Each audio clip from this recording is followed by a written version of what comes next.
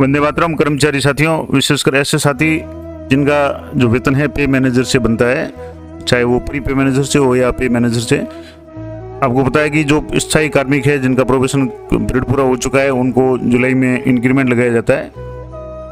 वैसे इंक्रीमेंट का जो कार्य सारा है, वो डी लेवल पे होता है, लेकिन कोई कार्मिक अपने खुद के लॉगिन से देखना चाहे कि उसका इंक्रीमेंट लगा या नहीं लगा तो वो कैसे चेक कर सकता है? कुछ साथियों की जो क्वेरी थी कि डी लेवल पे तो चेक कर सकते हैं या डी लेवल पे तो जो भी कार्य होता है वो हो सकता है, लेकिन हर किसी के पास में डी आईडी पासवर्ड नहीं होते।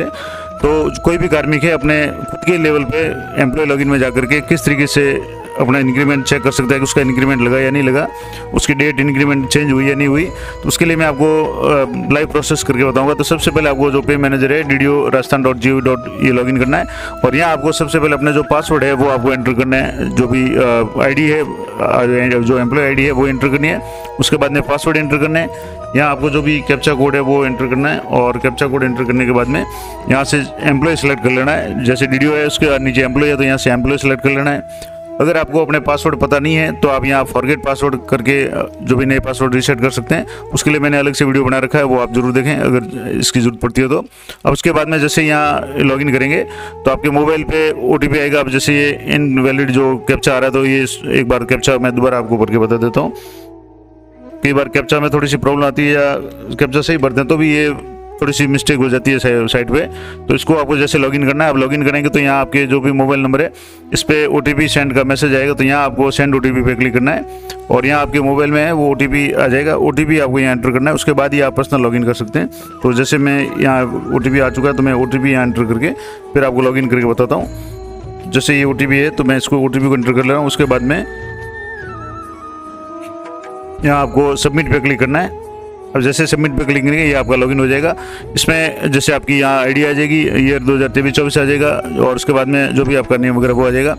अब आपको यहाँ से चेक करना है कि आपका इंक्रीमेंट लगा या नहीं लगा तो दो तरीके हैं। एक जैसे एम्प्लॉय डिटेल्स है, इस पर आपको क्लिक करना है तो यहाँ आपका नाम आ जाएगा और यहाँ शो रिपोर्ट पर आपको क्लिक करना है।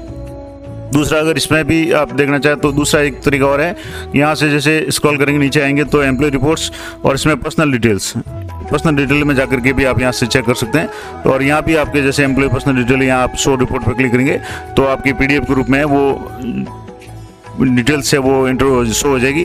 अब जैसे मैं यहाँ आपको ये जैसे ही ओपन करेंगे, यहाँ आपका फ़ोटो साइन वगैरह, ये सारी डिटेल्स आ जाएगी। यहाँ आपको जो डिटेल्स से ये सारी शो हो जाएगी। अब मैं आपको थोड़ा सा डिटेल में बता दूँ।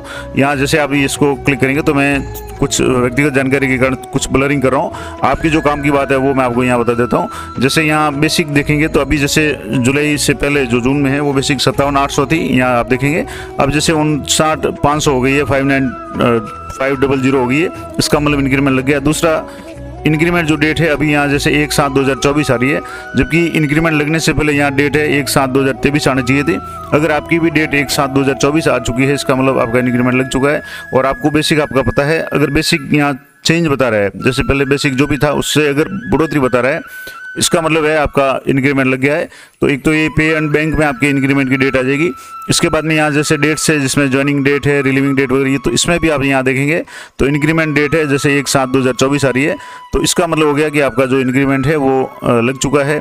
बेसिक चेंज ज़रूर एक बार आप चेक कर लें और बेसिक आपके जो भी है, वो आप देख लें कि जितना होना चाहिए था। वो आप ज़रूर चेक कर लें। इसके लिए आप जैसे सेवन्थ पे चार्ट है, वो भी आपको मैं थोड़ा सा बता देता हूँ कि सेवन्थ पे चार्ट से आप कैसे चेक करेंगे। तो मैं सेवन्थ पे चार्ट है, वो आपको डाउनलोड करके बताता हूँ। उसके थोड़ा सा आप एंड दे देता हूँ कैसे आपको चेक करना है। तो जैसे कि यहाँ मैं आपको बता रहा था कि यहाँ आपको सेवन्थ पे जो चार्ट है, उस पर आपको यहाँ देखना है।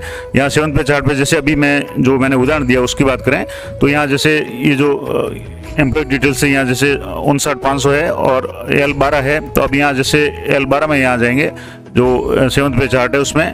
तो यहाँ एल बारह है, यहाँ एल बारह में जैसे ये सत्तावन आठ सौ था पहले, अब इसका एक इंक्रीमेंट लिखने के बाद में उनसठ पाँच सौ हो गया। अब जैसे सत्तावन आठ सौ से उनसठ पाँच सौ हो गया, इसका मतलब इंक्रीमेंट लग चुका है। यहाँ मैं थोड़ा सा आपको जूम करके बता देता हूँ, जैसे यहाँ आप देखेंगे तो एल बारह है, ये एल बारह है यहाँ, और यहाँ एल बारह में जैसे सत्तावन आठ सौ था।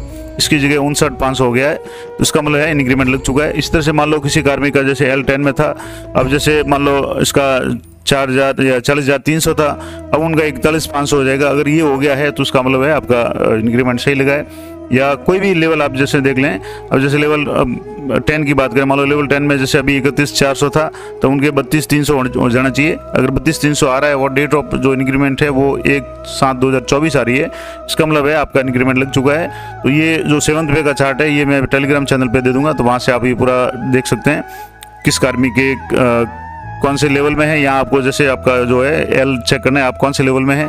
एल बारह में है एल तेरह में है एल टेन में एल एट में, जिसमें भी है। और अभी वर्तमान जो आपका जो बेसिक क्या है, अब जैसे मान लो कोई आर्मी एल बारह में और चौवालीस तीन सौ उसका अगर बेसिक है तो जुलाई का इंक्रीमेंट लगने के बाद में उसका पैंतालीस छः सौ होना चाहिए। अगर वो हो रहा है, इसका मतलब आपका इंक्रीमेंट है, वो सही लगा है। तो ये पूरी जानकारी थी पे मैनेजर पे इंक्रीमेंट आप अपने पर्सनल लॉगिन से कैसे चेक कर सकते हैं कि आपका इंक्रीमेंट जुलाई का लगा या नहीं लगा? अगर नहीं लगाया तो आप अपने जो भी वीडियो साहब है, उनसे संपर्क करके इस संबंध में बात कर सकते हैं। और वैसे यथासंभव सभी जो भी है, वो अभी जैसे आज उन्नीस तारीख हो गई है तो लगभग सभी का लग गया होगा इंक्रीमेंट अगर नहीं लगाया तो आप यथाशीघ्र लगाएँ, क्योंकि बाईस तारीख के बाद में जो बिल प्रोसेस होने शुरू हो जाएँगे ऑटो बिल जो प्रोसेस होते हैं तो उसमें फिर आपके अगर इंक्रीमेंट नहीं लगा तो आपको पुरानी जो भी बेसिक है, उससे वेतन बनेगा और उसमें फिर एरियर बढ़ाना पड़ेगा और कई तरह की समस्या आएगी। तो ये आप ज़रूर आज ही चेक कर लें, अपने पर्सनल लॉगिन में जाकर के। और अगर आपको पासवर्ड रीसेट करना नहीं आता तो मैंने अलग से वीडियो बना रखा है। उससे आप जो भी है पासवर्ड रीसेट कर सकते हैं। उसके बाद में अपना जो भी ओटीपी है, उससे आप लॉग करके चेक कर सकते हैं कि आपका इंक्रीमेंट लगा या नहीं लगा। तो ये पे मैनेजर से संबंधित महत्वपूर्ण जानकारी थी। आशा करता हूँ आपके लिए उपयोगी रहेगी। इसी तरह की पे मैनेजर से संबंधित जितनी भी समस्या है या जितने भी काम है, उन सभी से संबंधित वीडियो मैंने बनाए हैं। वो आप ज़रूर देखें। मिलते हैं नेक्स्ट वीडियो में। तब तक जय हिंद, जय भारत।